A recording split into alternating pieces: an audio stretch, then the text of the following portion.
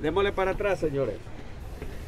Ernesto Mason guardará prisión provisional junto al ex tesorero de la alcaldía municipal y para el ex representante legal de la Dirección de Desechos Sólidos se le decretó medidas alternas a la prisión preventiva. Esto luego que la Fiscalía General de la República les decretara los delitos de retención o percepción tributarias relacionados con la alcaldía de San Salvador por un monto de 275 mil dólares. Sin embargo, este asciende con un total de 500 mil, con los intereses y multas según lo detalló Fiscalía.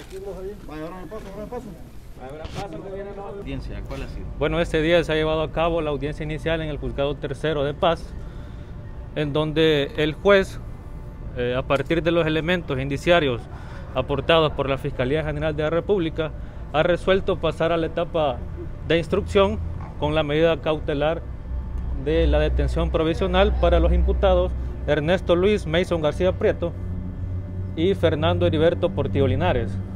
Y para el imputado Francisco José Rivera Chacón, ha resuelto pasar a la siguiente etapa con la medida cautelar sustitutiva a la detención provisional y para este se le han decretado eh, algunas medidas eh, consistentes, consistentes en comparecer al juzgado cada 15 días, eh, restricción de salir del país y que rinda una caución de 5 mil dólares.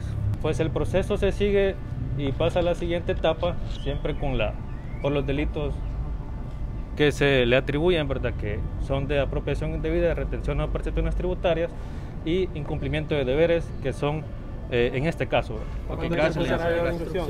Al finalizar la audiencia inicial, el ex edil de San Salvador dio declaraciones sobre el proceso al que se someterá tras su tercera orden de detención. Me han sometido ya a tres procesos, sin sustento ninguno. y me han decretado la y me han decretado la detención. Ya llevo 10 días, ahora saber cuántos días más mientras se hace la apelación, vida. ¿Por qué? A partir de este día y para crear conciencia sobre lo que está viviendo nuestro país, sobre que ya no hay separación, independencia y división de los poderes del Estado, sobre que tenemos una Fiscalía General de la República supeditada al Ejecutivo, sobre que tenemos diferentes instituciones y recursos del Estado funcionarios que se valen en sus cargos para perseguir, acosar, difamar, calumniar, hostigar a los adversarios políticos, a quienes pensamos diferente. No gozamos de las garantías.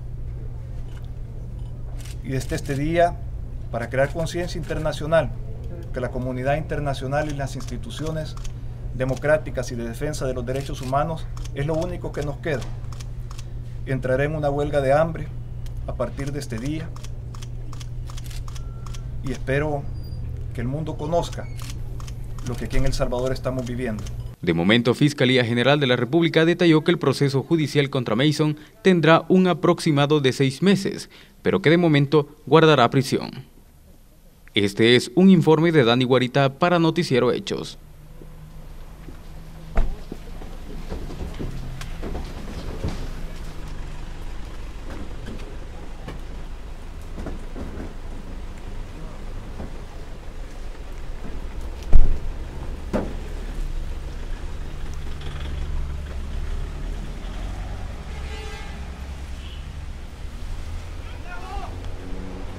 Ah.